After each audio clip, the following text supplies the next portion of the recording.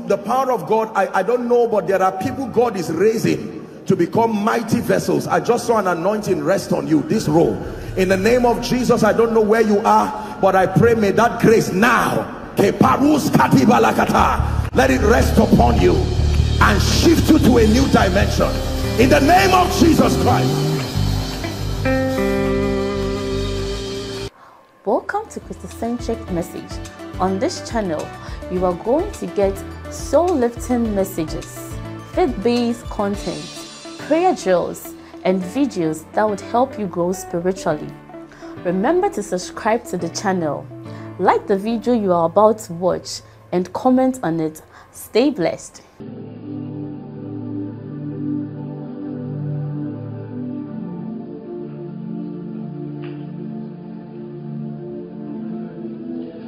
Are you blessing the name of the Lord? Father, thank you.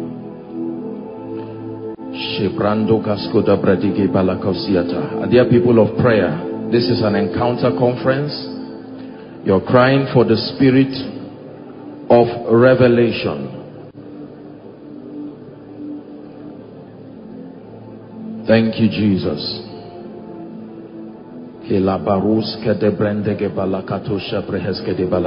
Let your word come with power to change, to lift, to transform.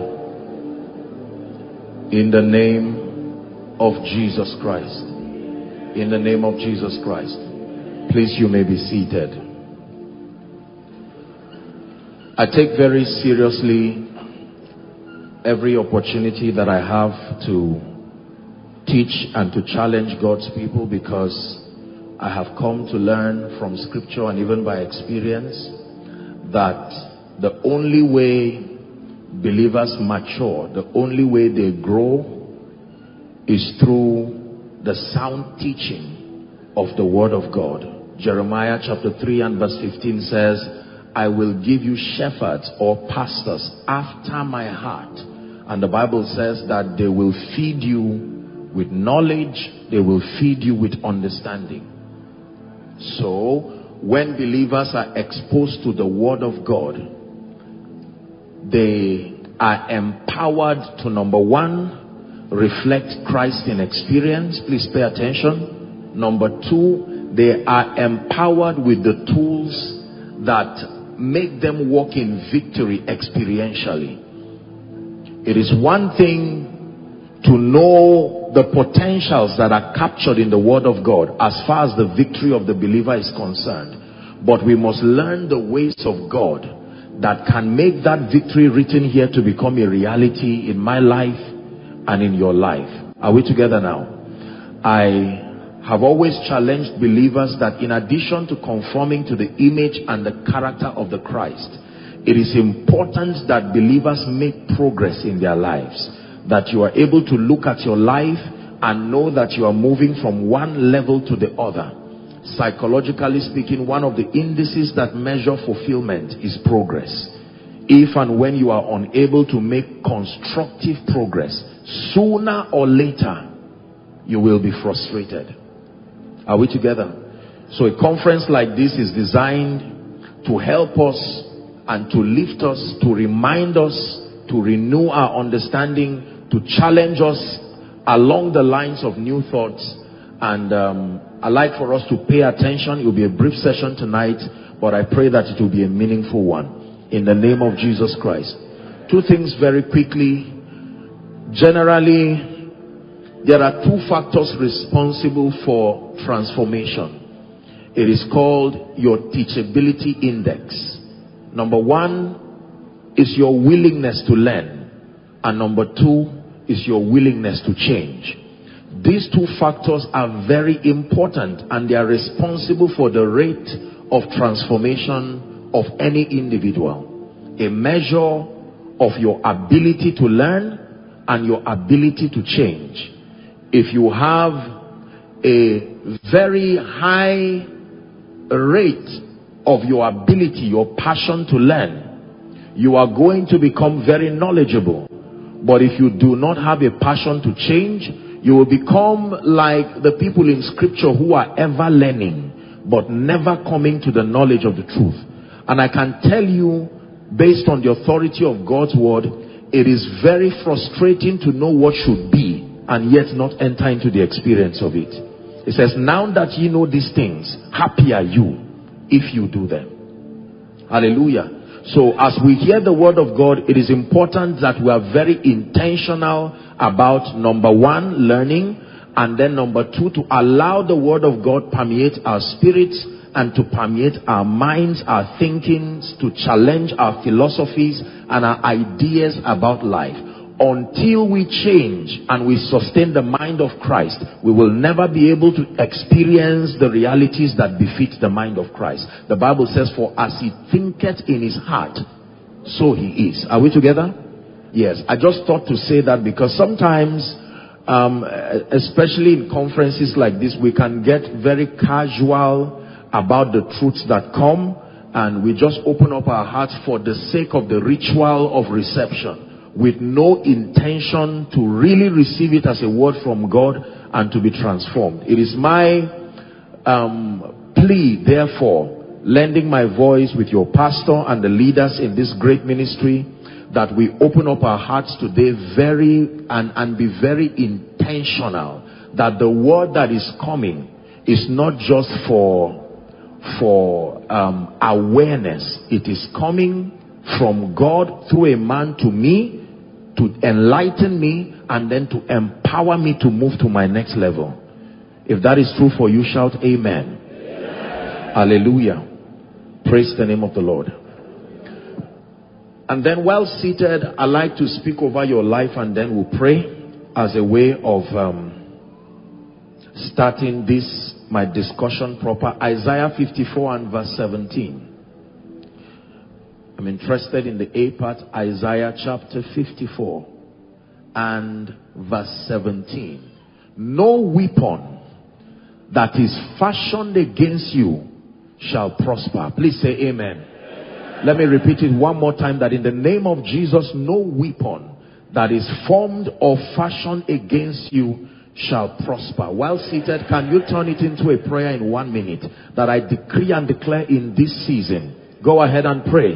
This is a believing church. Decree and declare no weapon fashioned against me shall prosper. No weapon fashioned.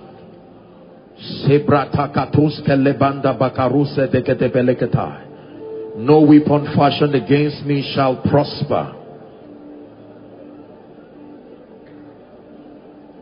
No arsenal of darkness against my destiny, my advancement in this kingdom and this life will prosper. Fortified by the word of God. In the name of Jesus Christ. Hallelujah. Amen. Luke chapter 8. You are about to learn something tonight that I believe for many of us will be the bridge from the season where you are to the next season of your life and destiny in the name of Jesus. I truly believe with all my heart that as you open up your heart to learn, finally the Spirit of God will connect the dots for you and you will make maximum kingdom advancement even after tonight. Luke chapter 8 and I'll start my reading from verse 22. Luke 8 22. Now it came to pass, you can look up, it's projected if you can see it. Now it came to pass on a certain day, right, that he went into a ship, the he being Jesus, with his disciples. And he said unto them, Let us go over unto the other side of the lake. And the Bible says they launched forth. Uh huh. Next verse. But as they sailed, he fell asleep. And there came down a storm of wind on the lake. And they were filled with water and were in jeopardy. 24. And they came to him and awoke him, saying, Master, Master, we perish. Then he arose and rebuked the wind and the raging of the water, and they ceased, and there was a calm. And he said unto them, Where is your faith? And they being afraid wondered, saying unto one another, What manner of man is this? For he commanded even the winds and the water, and they obey him. We'll pause here. Please go back to verse 22. The Bible lets us know that this is a very interesting, you know, a, a very interesting story. The Bible says it was on a certain day. So we know that this is not a parable. It happened a certain day. That Jesus came to the ship with his disciples. Before this time, he had made tremendous progress preaching the gospel, holding his crusades, doing mighty and great things, miracles, signs, and wonders. And he desired that they go to the other side. So you must understand how the story starts. The story starts with a desire to go over to the other side. Are we together now? And then the Bible says they launched forth with that motivation that he intended to go to the other side so that they could experience his power, his grace, his salvation. But then the Bible says that as they sojourned, certain things began to happen. Jesus lay to rest and there was a storm of wind. And there was a storm of wind. The first thing I want to say tonight is that there are times when challenges prove to you that you are getting it right. It is not always true that every challenge you face may be a proof that you are getting it wrong. The Bible says here that it was because of their desire to go to the other side. That means if they did not take the step to go to the other side, there would be no issue of storms at all. Hallelujah.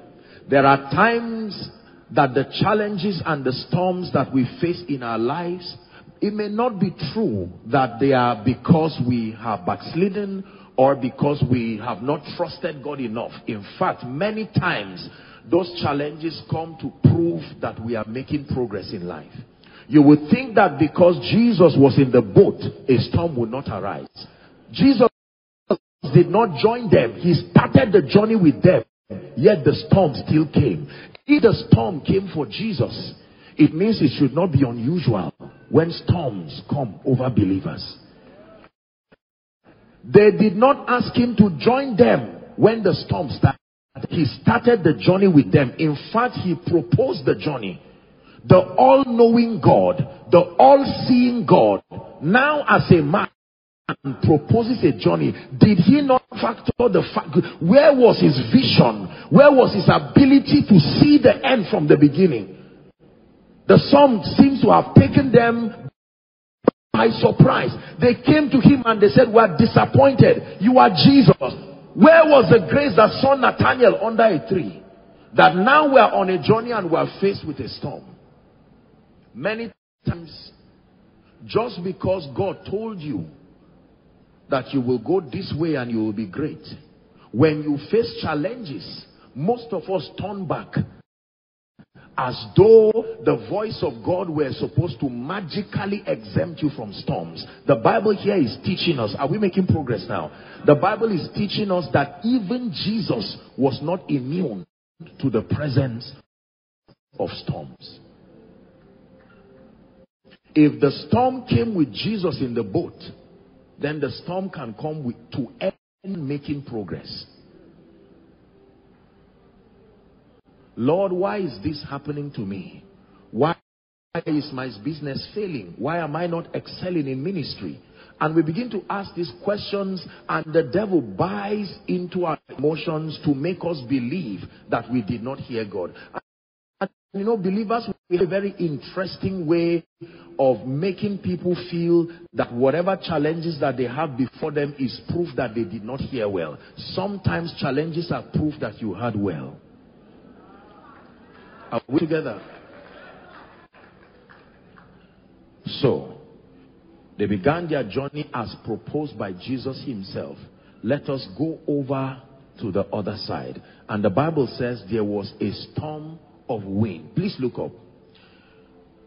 A storm is made up of um, two dimensions or two elements, if I would use that expression. Number one is water Number two is wind. Please pay attention. It is the wind that powers the water to be boisterous. You may not be able to see the wind, but you can see the effect of the wind in whatever happens with the water. Are we together? Now, that means that every storm has two sides to it. There is the water that you can see, the obvious problem that you are blaming. But there is a wind that you cannot see that is empowering that water. Are we together now? So that the issue is not just a rent issue. The issue is not just a business issue. The issue is not just your boss. The issue is not just your relatives. Oh, Joseph, the issue is not just the well. The issue is not just your brothers. That every storm is made of water and wind. Physical or visible and invisible. So in confronting storms, you are already in error if you focus only on the water. Are we together now?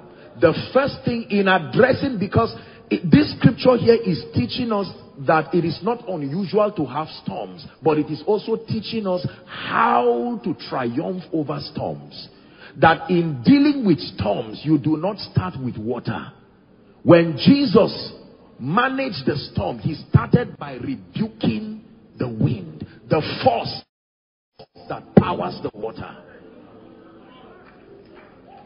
Are you getting what I'm teaching you now?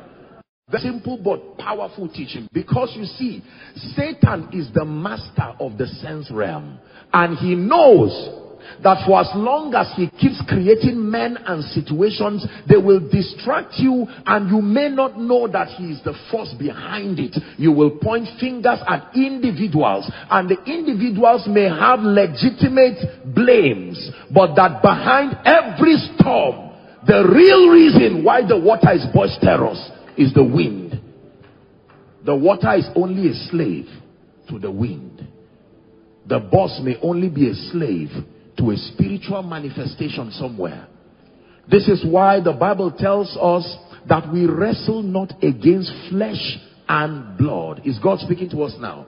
That every time you are approaching issues of life and destiny, your first port of call should be the realm of the spirit. If you route it by any other agency, you will fail. Every storm is made of wind and water. Please say after me, wind and water.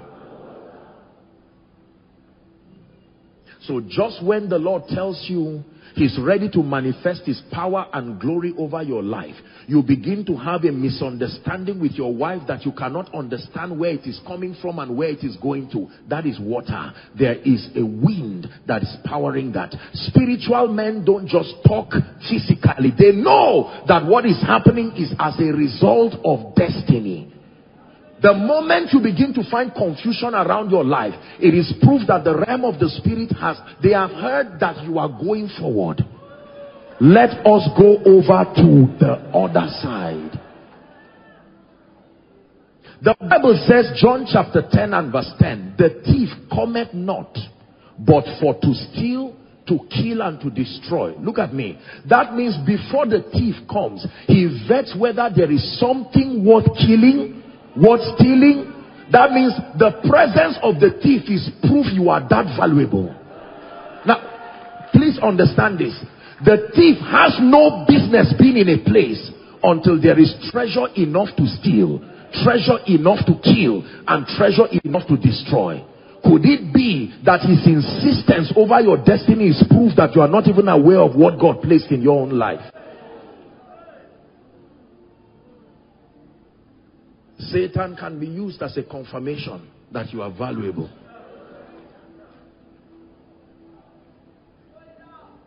Are you learning tonight? Yes. So, let us go over to the other side in business. Let us go over to the other side in ministry. The other side as far as my pursuit for God and the things of the Spirit are concerned. And you begin that journey and here comes the storm. The storm is made of wind. Oh man of God, hear this. This may be a word for you. Oh, businessman, hear this. This may be a word for you. The storm is not proof that your spiritual life has gone down. Don't let the devil lie to you. The storm, the quarrel in your home right now is, is not proof that you are not faithful. It's not proof. Many times it is because the devil wants to distract you so that you will go back. I can tell you if they made up their minds to go back, the storm would cease. The same energy it takes to go back is the same energy it takes to continue.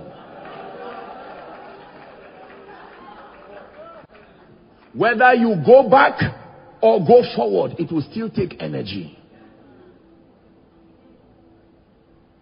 We're dealing with Luke 8 now. And then the interesting thing is that the Bible says Jesus was sleeping.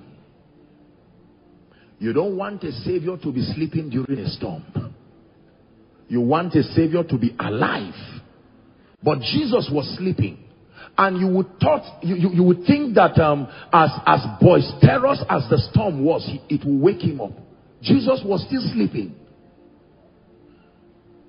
That means listen this is very powerful. The bible says let this mind be in you which was also in christ jesus why will jesus be sleeping in a boat that is raging left right and center he did not wake up he was sleeping. It took them waking him to say, Master, carest not that we perish. Because he knew for sure that he would not perish.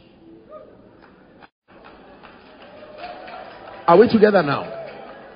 They never said, Jesus, wake up, your life is in danger. They said, we, there is something about your mentality that even the storm does not affect you. We know you are fortified. You have your thinking. You have a mindset that will not allow storms to move you. But help us. Have mercy on us. We are still trying to grow. Can I tell you this? There is a lesson here for everyone to learn. Two people were in the same storm. One sleeping, the other one shouting. Let this mind be in you Sometimes you see people rejoice and praise the Lord until you hear what they are rejoicing over. They are rejoicing over pain. They are rejoicing over disappointment. The man can be singing and clapping and there are bills to the billions to pay. He has received a mentality that God, God's, God's jealousy defends him and that there will be a way, the end will be victory. This is how we think in the kingdom. Please understand this. We live in a world that is very passionate about attracting sympathy. And sometimes we, we tend to believe that just because we have justifiable reasons to feel bad, we can throw away everything and blame everybody and get angry. People do foolish things in society and justify it. Why did you steal? Well, there's poverty in the country. Why are you not serious? Well, there is no job. But Jesus had a mentality. This is the second thing I want us to learn. The first is about the reality of storms, that it happens to all men, including Jesus. And then number two, there was a mentality that Jesus had. Even in the midst of the storm, he was asleep. That looks to me like the scripture that says, though I walk through the valley of the shadow of death, I shall fear no evil now here's the secret. For thou art with me. It didn't say for thou art talking to me. There are times that you don't have to wait for the storm to be calm to rejoice. Just verify if Jesus is there. The moment Jesus is there in the boat, begin to find rest. You can fail alone, but you and Jesus cannot fail together. If you are the only one in the boat, even if you are a skilled man at sea, begin to be afraid. But if you check that boat and you verify that Jesus is there, even if he is sleeping or seems to be sleeping, find rest.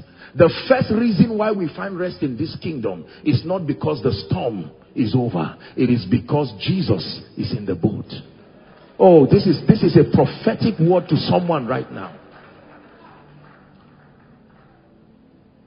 I may not know how the solution will come. I may not know what to do. I'm, I'm in the middle of nowhere. I began a journey to start a business and now I'm in debt to the millions and the billions. It was because of my desire to go to the other side, the other side of my destiny. I can't remain at this level. For the Bible says the path of the just is as a shining light. There are many people who do not have storms is not necessarily a proof of spirituality. It's proof that they are so cowardly they don't have the courage to go to the other side. Are we learning now? It takes courage. A storm must, must be sure that you are worth its attention to come to you. Now, learn this lesson. Number one, storms happen to all men including Jesus. It is not unusual. One of the scriptures that baffled me for many years is this statement in Revelation, and there was war in heaven. War in heaven. Heaven is your throne. With the all-seeing eye, omniscient, omnipresent, there was still war in heaven. Notice the character of God in both cases. God never stood up from his throne because of the war. He was still seated at rest. There was already a system put in place. Listen, learn this. Rest is proof of faith. Rest is proof of faith. You may need to prophesy to yourself. Say, myself, find rest. Myself, find rest. The Bible says, except the Lord builds a house, they labor in vain that build it.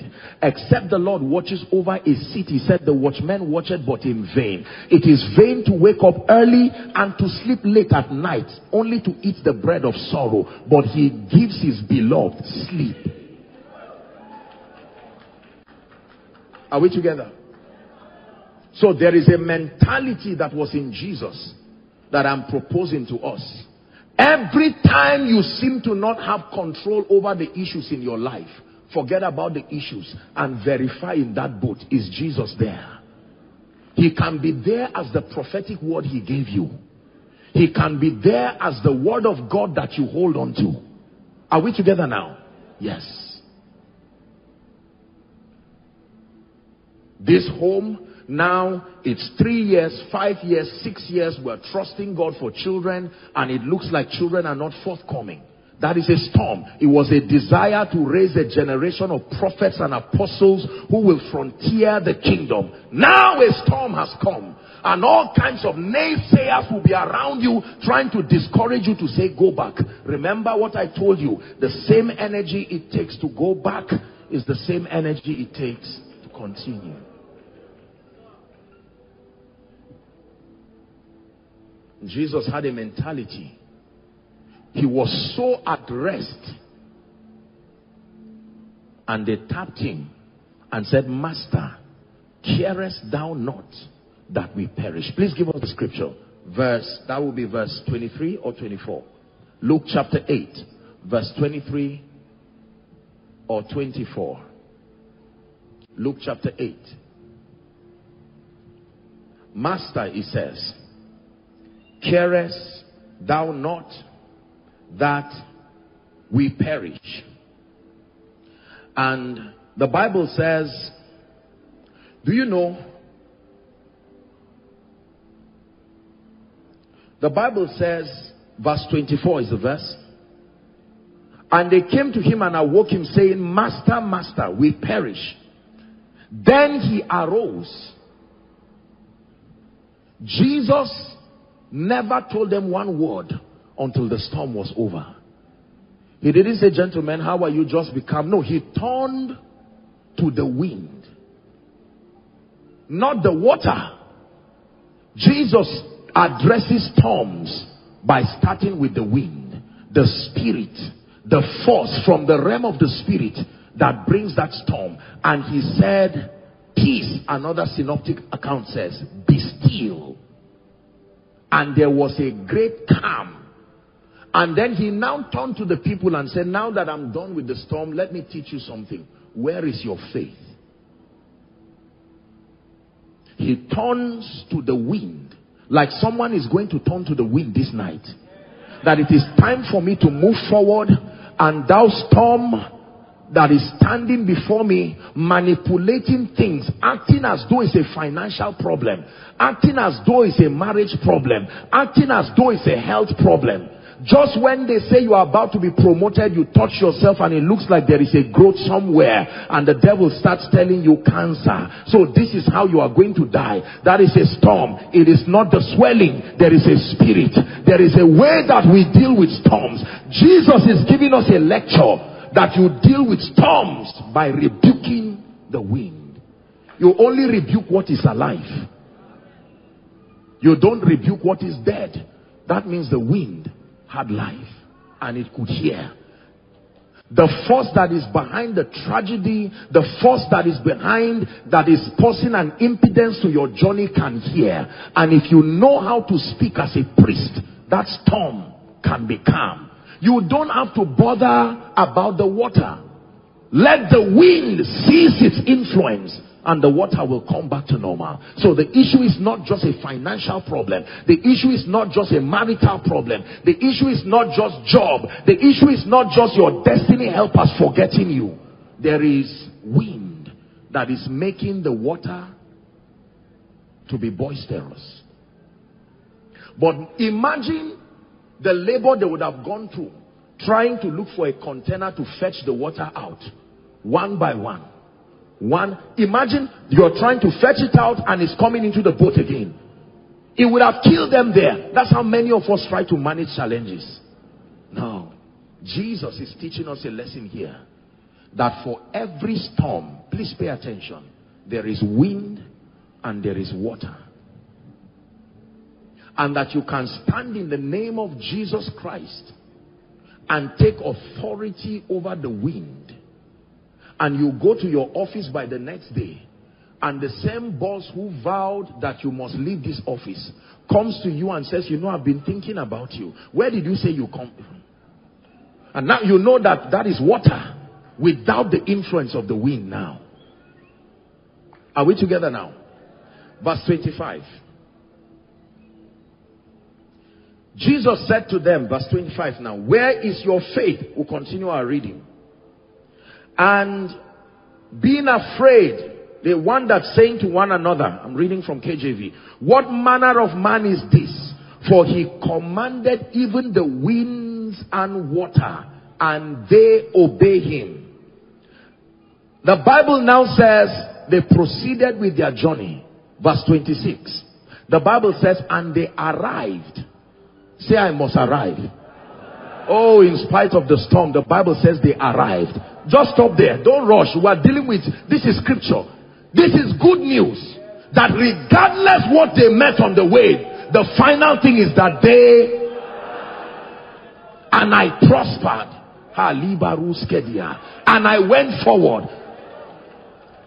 Your story is not complete until this is captured in the story. So when you are telling me about the challenges, I'm interested but not as interested as this. I want to know, did you have the staying power to arrive? Someone prophesy, say I arrive. Say I arrive. Hallelujah, I arrive financially. That, that destination, I arrive in the name of Jesus. You may laugh at me because you are watching the storm, but it's not over. I arrive in the name of Jesus. I arrive, I arrive, regardless the naysayers. I arrive by the power of the Holy Spirit. In ministry, I make progress. I arrive. Financially, I arrive. Rejoice not over me, my enemies. I arrive. Not only me, my family will also arrive. Please sit down. And they arrived. How many of them arrived? All those who started. Not some. Let me use this to prophesy to someone. There will be no loss. When you started this journey, you started with your spiritual life, your finances. Everything that started with you will also arrive. You will not leave your spiritual life in the boat. It will not fall by the wayside. Just because you want to make progress Don't lose your spiritual life. Don't lose your finances. Don't lose your relationships. Don't lose your courage. Everything that started that journey should arrive also. It didn't say, and he arrived. And they and my children arrived and my company arrived and ministry arrived and my spiritual life arrived Yes, I came from a family of idol worship, but I made up my mind to go to the other side. And, and on my way, for 10 years, I made captivity, but I still turn it into a prayer in one minute. The grace that makes a man arrive in the name of Jesus Christ. You're going to be seated, but I'd like you to pray. I just felt that this is a place to declare the grace I arrive. I arrive. This one thing I do forgetting the things that are behind, I press onto, towards the mark of the high calling in Christ. I arrive.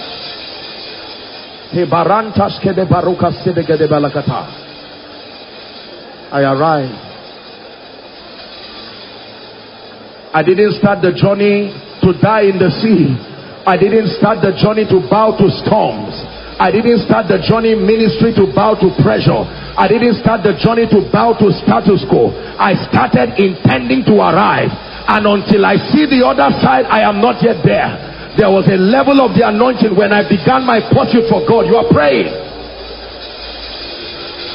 Hallelujah. Please look up. Hear me.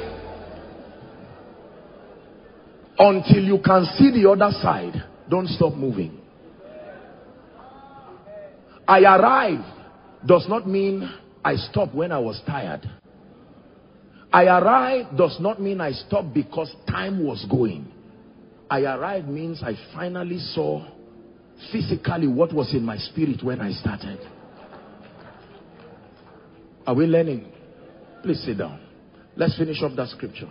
I'm just walking you through these scriptures.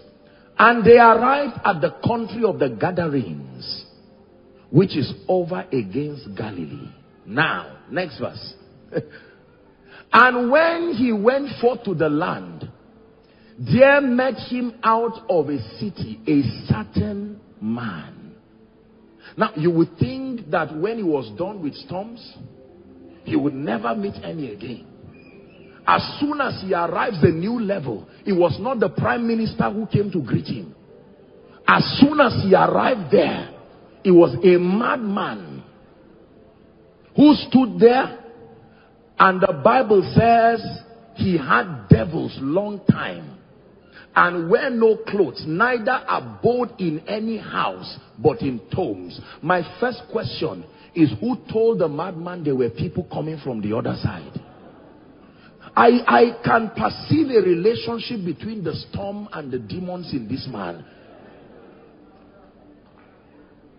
That as soon as he arrives, he meets the madman who is also like the water and the wind.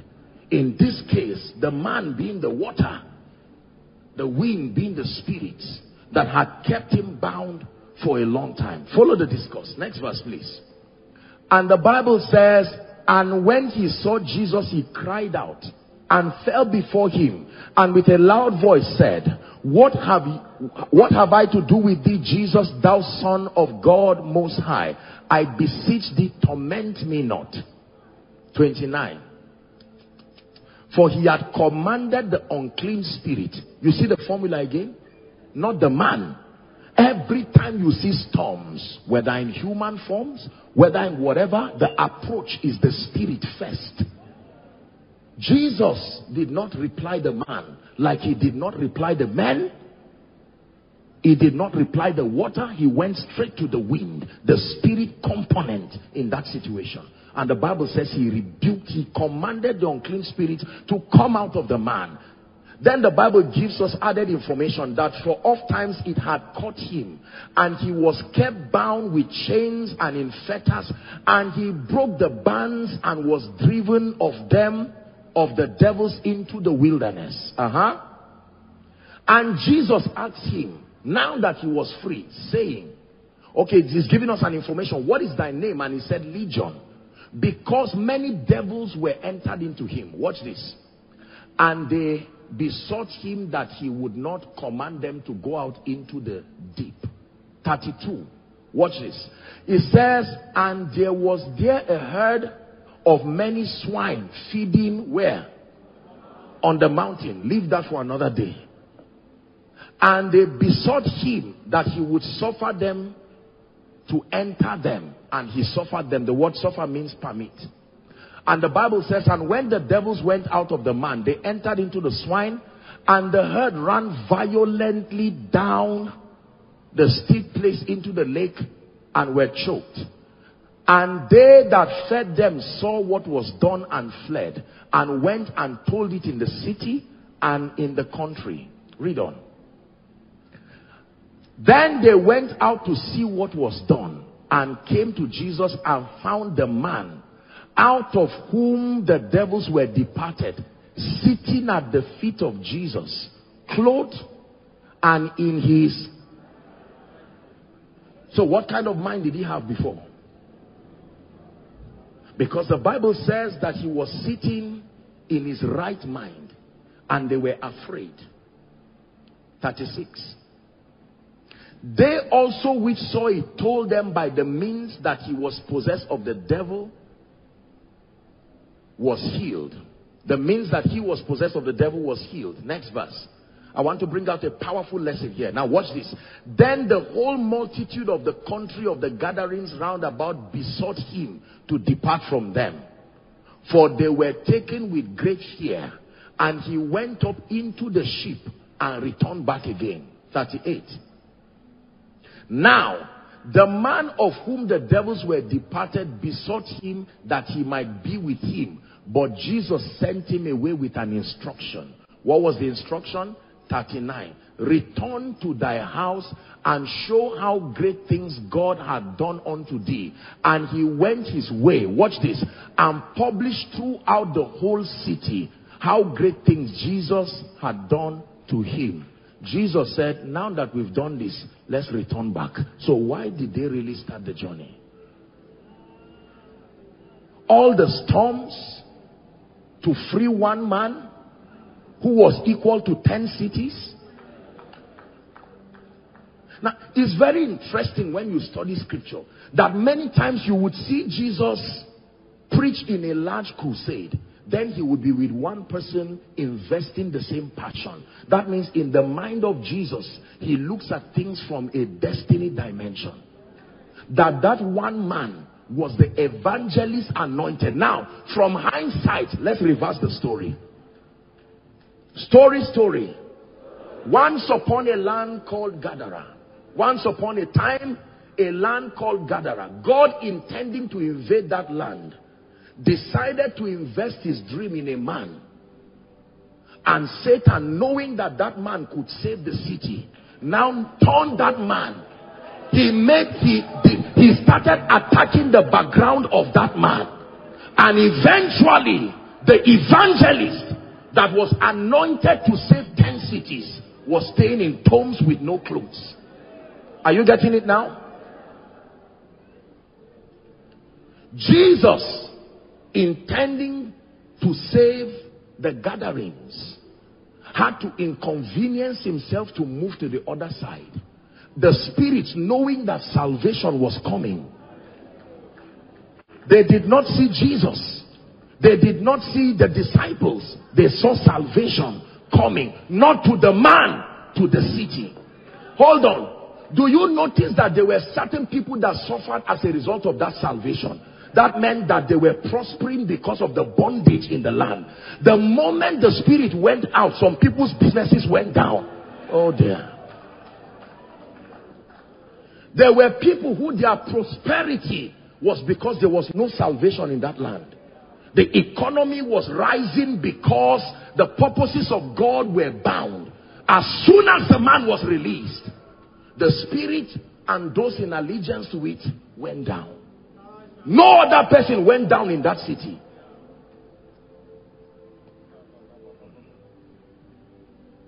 And Jesus intending to save a city. Could it be that the reason why Jesus also has been intentional about your destiny is because as he looks at you, he's not seeing you.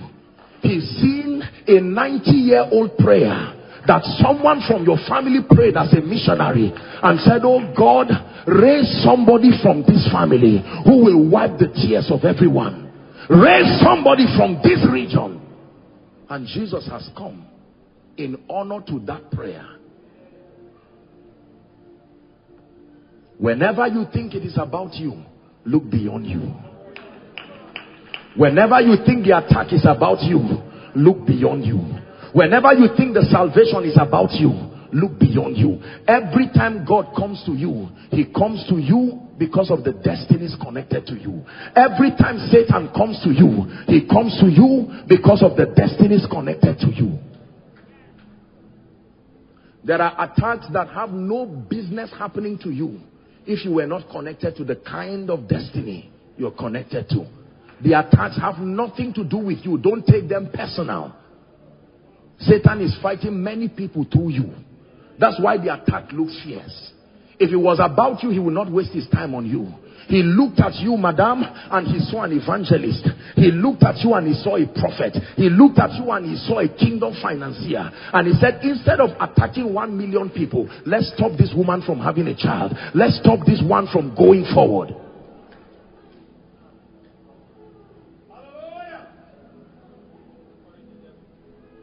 Is someone learning now? This is giving us spiritual intelligence as believers so that we can interpret things from the lens of the spirit, from the lens of prophecy, from the lens of destiny. Now you can rejoice in the office and they may not know why. This woman who has been insulted by everybody, why is it that the more they insult you, the more you rejoice? Tell them I came to House on the Rock and I heard a word by the Spirit that corrected my understanding. Number one, that storms happen to all men and storms are verification systems that you are really going to the other side. If you did not intend to grow, you will not meet with the challenges. Even Jesus, Jesus and his presence in the boat did not stop the manifestation of the storm. It only stopped the dominion of the storm on the journey. The next thing that I, that I taught you that you need to have at heart is the mind of Christ. There is a mentality that makes men rest in the midst of storms. Can I tell you this? The Bible says, Yea, though I walk through the valley of the shadow of death, I shall fear no evil. It says, For thou art with me. That divine presence should be a consolation. Someone declare, say, You are with me. Thou art with me. Thou art with me in the midst of the storm. And then when Jesus woke up, the Bible says he rebuked the wind and the storm was calm. So the first way we address storms is to rebuke the wind. Next time go to your shop, go to your mall, go to your business, go to your house. You come back and you see your children bringing reports that are not consistent with the word of God. Just kicking and venting anger on the children will not solve the problem. Always remember, Jesus has taught you what to do with storms. It is not the result. It is not the school. It is not the dull child. Remember, Satan does not attack for nothing. In that child CEO, in that child is the employment of 5,000 people. Don't blame the innocent child and bring ill speak, ill-spoken words over him. You are a failure. You are dull. No. Satan does not attack failures.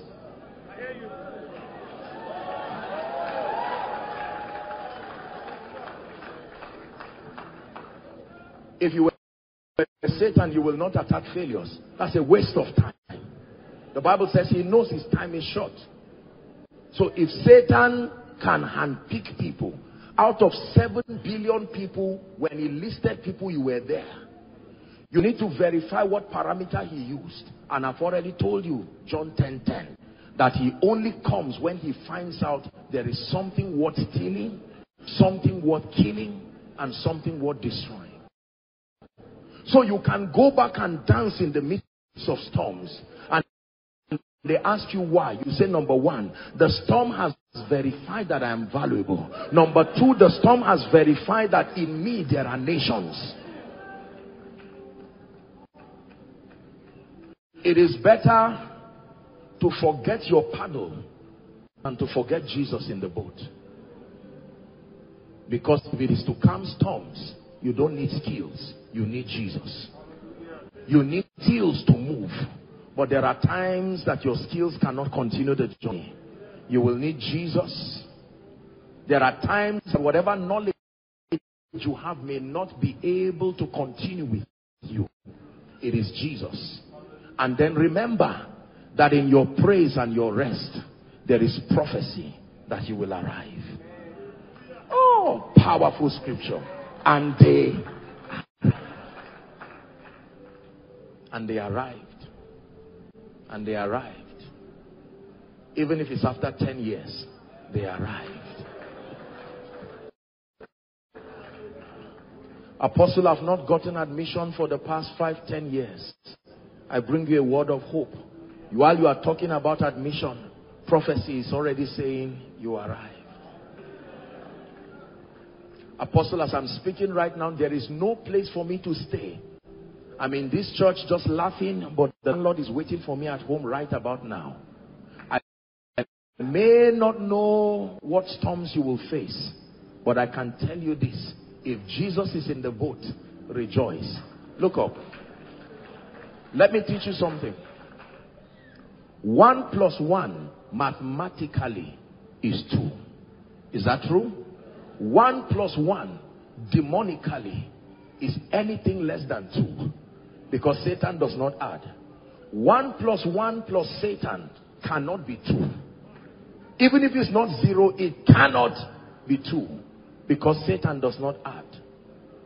One plus one plus Jesus is equal to the answer he puts there.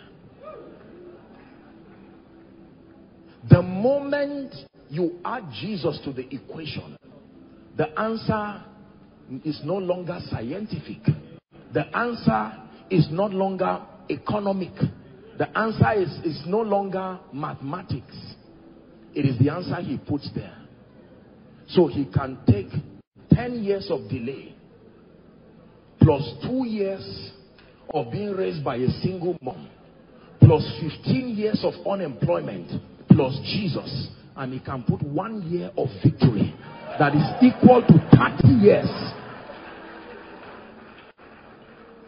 five years of a wayward life plus two years of limited understanding in church plus a job that may not give you so much plus your passion and fire for God then plus Jesus and you will be surprised to see what the answer will be. The answer will be the destiny of someone who started working hard from four years. And you say, this is not fair. And he says, Jesus not, does not only add, he can supplement. Anything plus Jesus is the answer he puts there. Let me tell you something. We're wrapping up. There is a very interesting parable I wish I had the time to deal with in scripture. It was a parable about employment. The Bible says a vine owner was drawing people to get into his field. Have you read that, that parable? And he negotiated for a denary with certain people early in the morning. Is that true? So their basis for going to the field was not because they loved the vine owner. It was because they negotiated for a denary. He took them to the field. Later on, he saw some others and said, Why sittest thou idle? They said, No man employ us. And he said, Go. They didn't negotiate. They went because of love and honor to the man. Even at the 11th hour, one hour to the close of work, he still met another. He said, Go. At the end of it, he paid those who came because they wanted payment. Then those who came because they believed him. He said, Now let me decide how to pay you paid them the same amount. And they said, no, there is injustice here. And Jesus said, what is the injustice? I know you came from a lineage of millionaires. I know you came from a lineage of those who bless you. And maybe that may be your motivation for loving Jesus. It was not really because you loved him. It was because there was an opportunity. You were told that if you stay with him, he can bless you. Oh dear spiritual employee, you go to the vineyard. Your dinner is coming. But then there are others who said, Lord, if you can make any sense out of this life, my, my background has cheated me already. And he said, also come and join. And when it is time for payment, when he's allocating graces and possibilities, he can bring the grace of one. Oh dear. I'm saying this prophetically because there are people after this conference. You will stand side by side with those who started being diligent even before you were born again. And they will wonder and say, but this is not fair. And you will tell them, the problem is not me. The problem is the one who carried me along in his boat. Jesus Christ being in your boat can make the difference. And they arrived. And they arrived. And they arrived. And he met the man at Gadara. Rebuked the spirit out of that man. And the man said, I want to follow you back. He said, no, I came because of you. Now that I'm done with you, I can release you to live out your assignment now. Listen to me.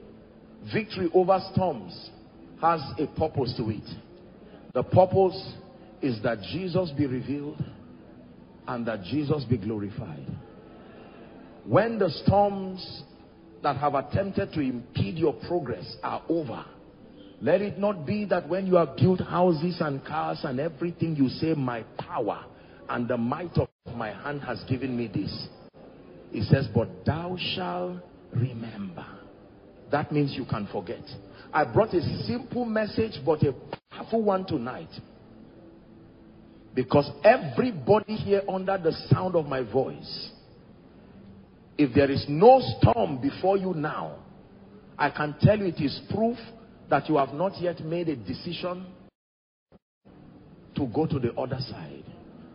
But if it is the other side of business, the other side of your spiritual life, the other side of your kingdom exploits, the other side in ministry, then there is a storm that is before you.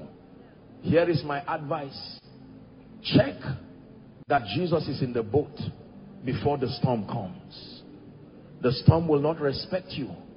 It will only respect Jesus who is in that boat. As you carry your certificate, verify whether Jesus is there. As you carry your track record of business exploits, realize a day will come, dear Peter, where your net may not be able to catch fish. If your net does not catch fish, it is not, it is not laziness. There are times that the fish will not come you will need Jesus. It is only Jesus who can tell the fish to come. Some of you are in this situation right now. You've exhausted everything you know to do intellectually, spiritually, economically, etc. And you are right now in a confused position, not knowing what to do. Number one, find rest. Storms happen to everybody, even Jesus. Number two, have the mind of Christ. You know that Jesus is in the boat, so find rest, it will not kill you. There is an end. Number three, have the mind of Christ. Superior understanding. Superior understanding that Satan is a master of the sense realm. He will manipulate you into depression, and then you will find out that the challenge every challenge comes in its inflated form. It takes rest, the rest of faith to deflate it down. Sometimes you will worry over things that are not as serious as they look. And then Jesus taught us how to deal with storms. That you speak over the wind and say, In the name of Jesus, this wind making my marriage boisterous, this wind making my academics boisterous, my job, my business, This wind making Nigeria boisterous. This wind making my political career, my ministerial calling boisterous. Peace, shalom, be still. And the Bible says the wind and even the water obeyed him. And then obtain the staying power to continue until you arrive. And when you arrive, remember that the arrival has a purpose. Don't dive and begin to celebrate and forget that there is a madman who holds the salvation of 10 cities waiting for you. Could it be that the reason why God wants to prosper you is so that you can meet a child someday, pay that child's school fees, who will be the owner of a bank tomorrow, and employ 5,000 people. Can I tell you this? Every time you see the madman in Gadara, look beyond not being clothed. Every time you see a madman in Gadara, they will not come to you as great people. They will come to you as people with their filth. They will come to you as people who are outcasts. They will come needing you. It is amazing that on the other side of your success, the first person you meet is the destiny sent to you. You must have the discernment to not allow the beauty of success becloud you. As a man of God, when God grants you an anointing, after the storms, the attacks, and now you come to a position of power and influence. Do not forget, for every arrival, there is a madman crying. Businessmen, for every arrival, there is a madman crying who's holding the destiny of 10 cities. Some of you have arrived, and all you are doing at the seashore is a party, a celebration. And there are madmen crying and say, is this not why you came? Did he anoint you to just do church? Man of God, now that you have arrived in a measure, what are you doing with that anointing? I am doing ministry. Ministry. I am enjoying myself. Wake up! There is a madman who is waiting for you. There is the young man who you need to lift in ministry who will be strengthened and go and save his family and save other generations. Please hear me. We are wrapping up, but you have to get this lesson. For everyone who arrives, and it's a language we like to use in Nigeria, I have, let me tell you the next assignment. Look for the madman in Gadara. When you arrive, it's proof that you conquered the storm. So we celebrate you for beating the storm hands down. But realize every time you arrive, your next assignment is to locate the madman in Gadara for the sake of the Gadarenes. Rise up on your feet, please.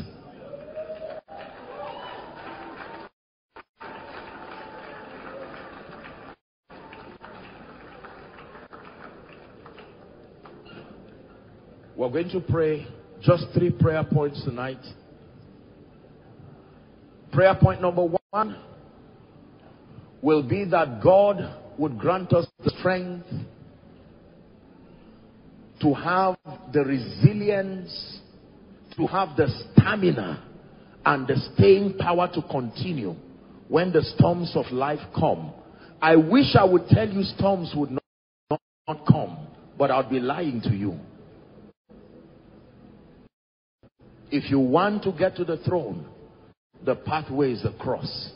Oh, Joseph, if you want to sit with Pharaoh, be ready to enter the well, go to the prison. I said it in a teaching somewhere that the prison is where both good and bad people meet.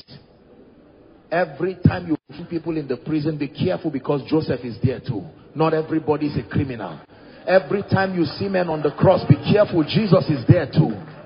He is just between two thieves. He may not be a thief. This is already a word for someone. Don't generalize people. You may see Joseph in the prison, but not everybody got there because of a crime of their own. You may see men hanging on various crosses. Don't generalize. Jesus is dead. He's not dying for himself. He's dying for the world. There are thieves that pay the price for their own foolishness. But there are others who are dying for others. You must have the grace to discern. Are you ready to pray? Prayer point number one. Lord, I obtain grace that as I start this journey to the other side, regardless the storms that come, I will arrive. Lift your voice and pray. Please pray. Let it be from the depth of your heart.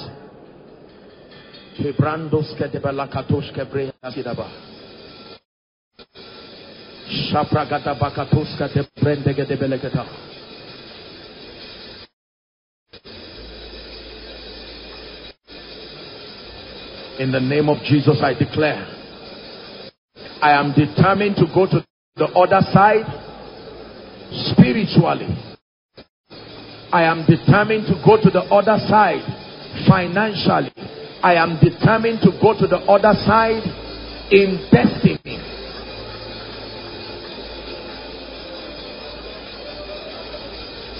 Regardless the storms that I face, I declare that I intend to arrive. Jesus is with me.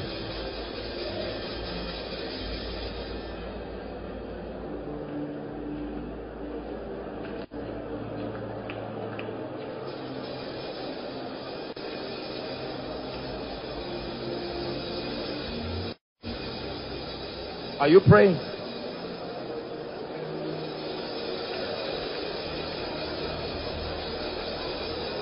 Obtain grace.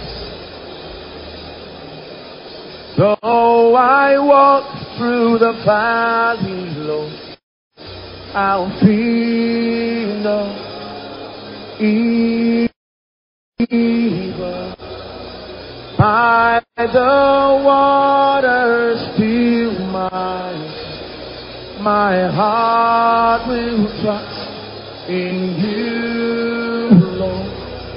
my heart will trust. Someone is drawing strength for the journey tonight. So I walk through the valley, Lord, I feel no evil. By the waters, still my soul, my in you. My heart will trust. Listen, please look at me. We're wrapping up. Please lend me your attention, everyone. Following and here. Someday you will need to move from being a tenant to a landlord. It is not prophecy.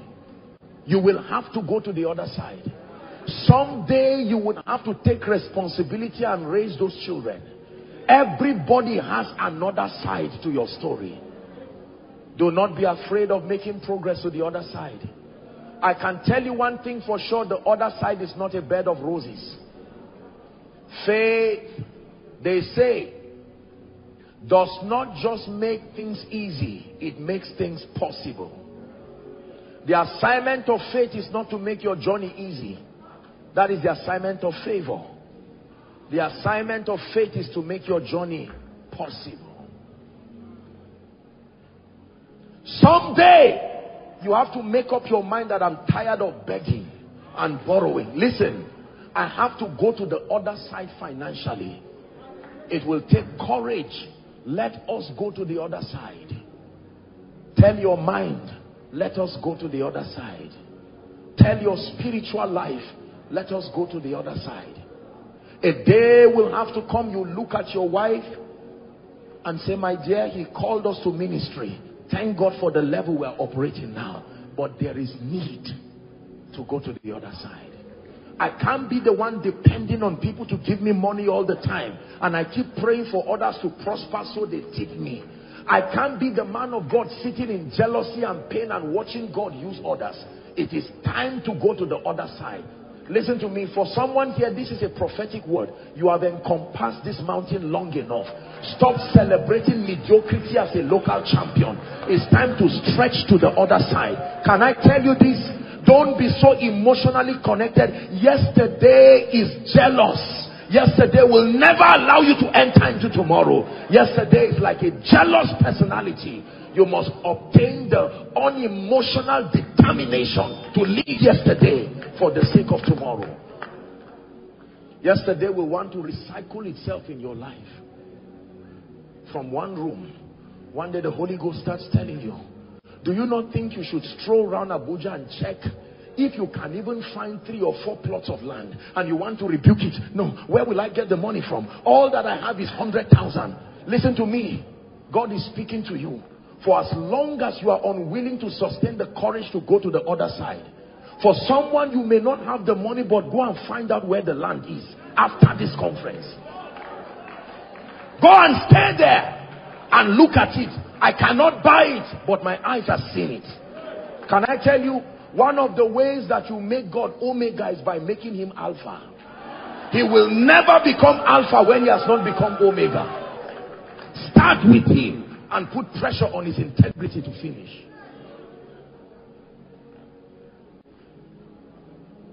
I should go abroad and educate myself, but where will the help go to? Go online and find out what it takes to start. Just start with Jesus and be sure that you will arrive. You alone will fail, but you and Jesus cannot fail. Are we together? I came here to challenge you tonight. Honestly speaking, there are many of us who have compassed this mountain long enough.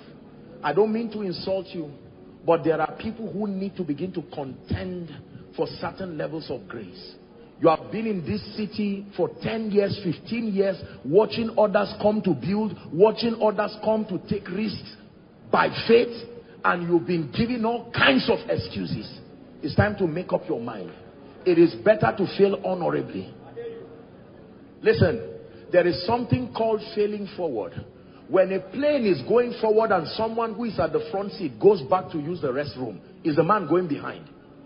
The plane is moving forward. He's in a plane that overall is going forward. Even though in the plane he is going backward, but the plane is too big for him to move it backwards. That's how your destiny is. Go and start the shop. What do I need? Courage. You don't need products. Open it. Open the shop and start. Apostle, I'm in debt to the millions and the billions. How do I come out? I can tell you, if you think you're going to save your way to go out, you are joking. Listen to me. The first way to come out is to invite Jesus into the situation. You will never come out on your own. When you are in trouble, don't try to come out. Bring Jesus into the situation. There is something about him that cannot let you remain in storms. Are we together? It is time to stretch to the other side. And please do not forget, whenever you arrive, remember there is a madman in Gadara that all that journey, your financial journey, your intellectual journey.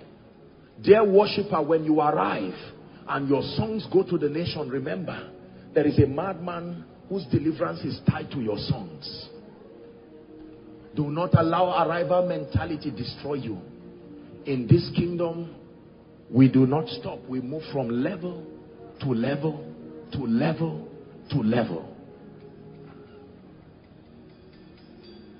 Now, before I speak over your life to end tonight, I want you to rebuke the storm.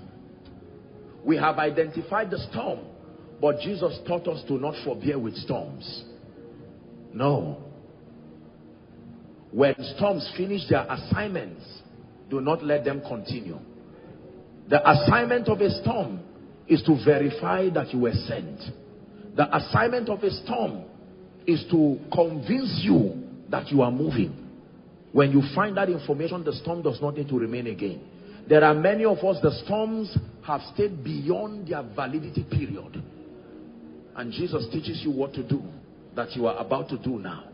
In the next one minute, please, without distraction, in the name of Jesus as a priest that you are, I'd like you to begin to rebuke every spirit that is back of any situation challenging your life and destiny. Believers pray.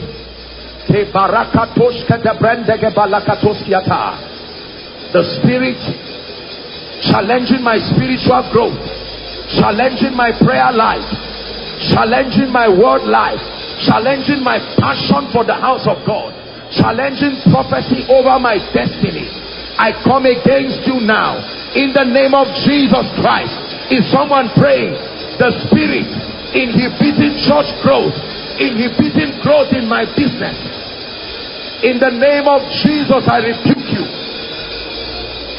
By the God of heaven, thus far have you come, no further shall you go. The spirit fighting the arrival of the anointing upon my life and destiny. I come against you in the name of Jesus.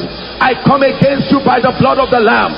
House on the rock, pray, decree and declare that thou mightest be justified.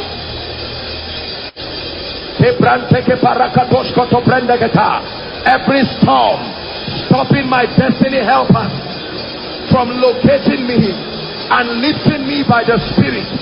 Every storm challenging my business, every storm challenging Nigeria, every storm challenging my family.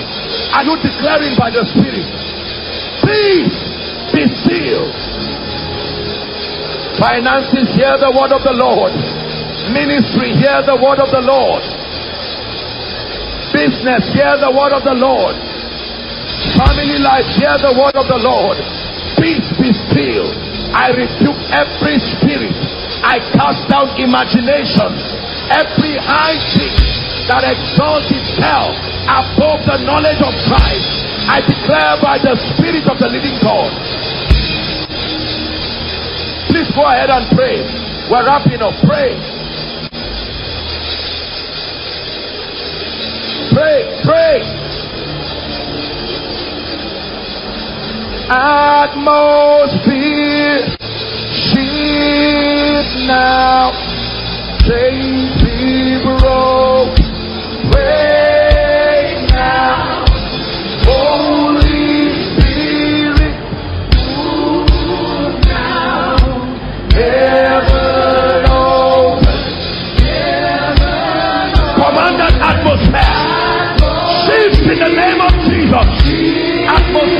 depression, atmosphere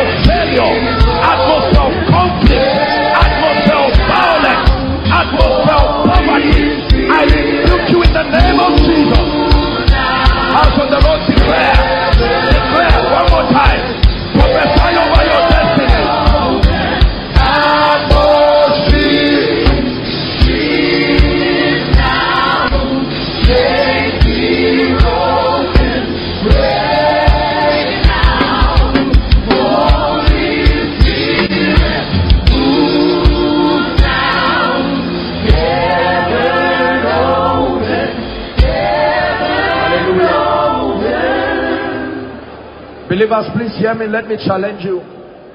I'd like you to use this entire period of this conference as a moment of spiritual emphasis. Some of you need to go home and lock your gate and start walking like the priest that you are around your house. And if they ask you, what are you doing? Tell them the storm has stayed beyond its limit. The storm has stayed beyond its limit and you begin to rebuke. Lay your hands upon your documents when you go back home. In the name of Jesus, I end this season of pain. It's time to arrive, not just to move. Declare your arrival. Prophesy by the Spirit.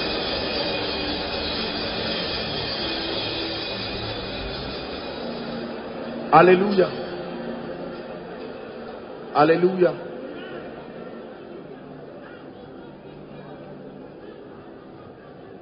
You have prayed. But hear me. The disciples were too weak to rebuke the storm by themselves. But they were also not too proud to tell Jesus, help us. There are certain times you may not have the level of spiritual intelligence nor the level of engracing to challenge the storms that stand before you. You must be quick to admit it and quickly call Jesus. And can I tell you this? The way Jesus walks is to empower men. Go to them that sell and buy. There are those that sell. This is why he gave in the church apostles and prophets, evangelists and pastors and teachers for the maturing of the saints.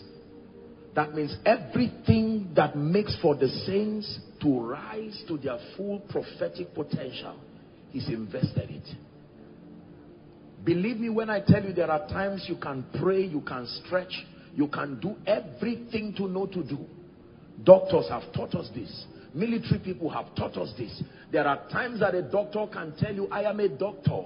There is DR or MD behind or in front of my name. But I admit that this situation is beyond my expertise.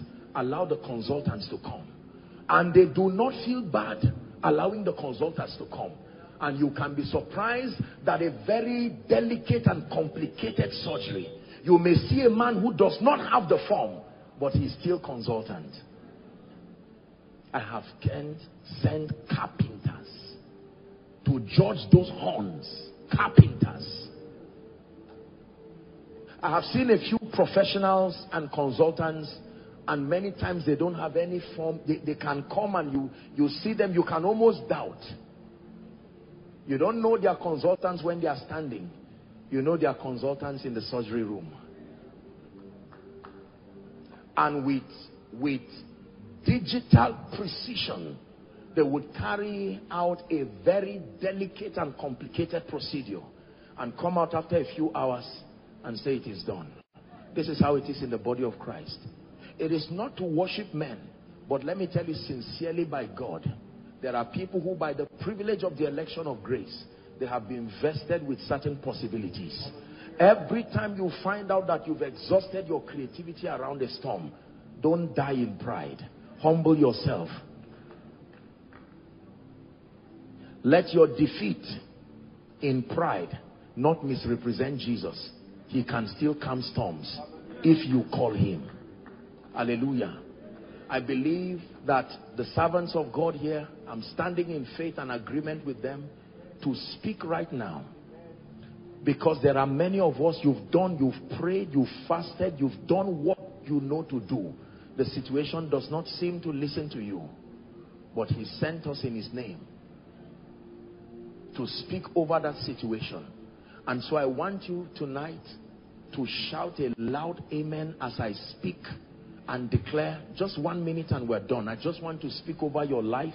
Prophecy is powerful. It says they are taken for a prey and none see it restore. In the name of Jesus, I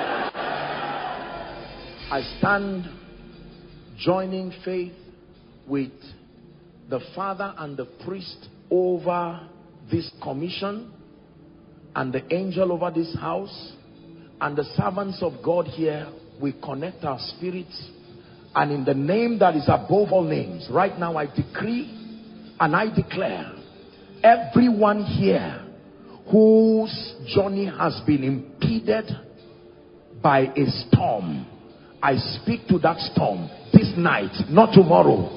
This night, come to an end now. Come to an end now. Come to an end now. Come to an end now. Come to an end now. Every force that is stopping your advancement or that of your children, maybe financially, ministerially, in the name of Jesus Christ, the Son of the living God. I speak to that spirit and I speak to that storm. Release God's people now.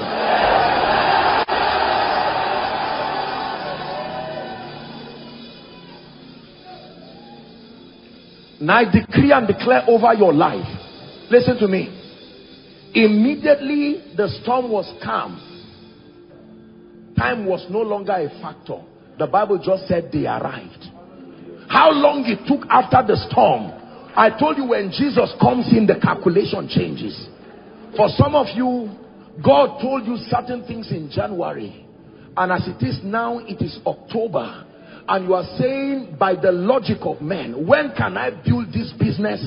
I tell you, when Jesus is introduced, you will be surprised. Let me speak to you by the Spirit of grace.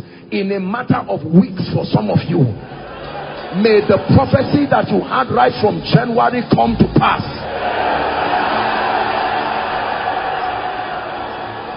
Hear me. For some of you, as you go home right now, your prophecy will run faster than you and wait for you at home as a testimony in the name of Jesus Christ. There are many of you, by the time you are coming here tomorrow morning, I decree and declare over your life, it will be tears of joy you will be coming here with. Can I tell you this? I would not do this except God put it in my heart. I want to declare over your finances this night by the Spirit. I'm just responding to what God is putting in my heart. You will marvel and wonder. I am telling you this by the God of heaven. Do not be like the man in Samaria who said, even if God will open the windows of heaven.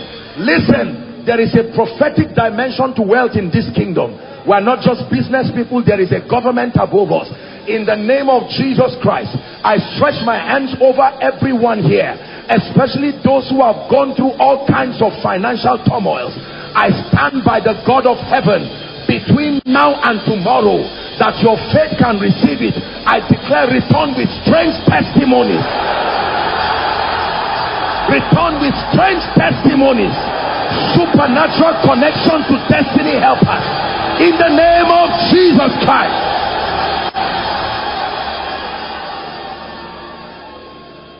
Tonight as you go to bed, may the heavens be opened over you supernatural ideas, instructions, strategies that are required for the next level of your life.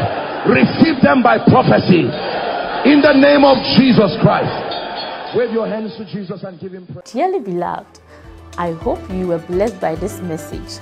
Do not keep the video to yourself. Share to as many as you can to help them bless. Check our homepage for more of our messages. Subscribe to the channel comment on it, like it. See you on our next video. Bye. Pray, pray, pray for your destiny.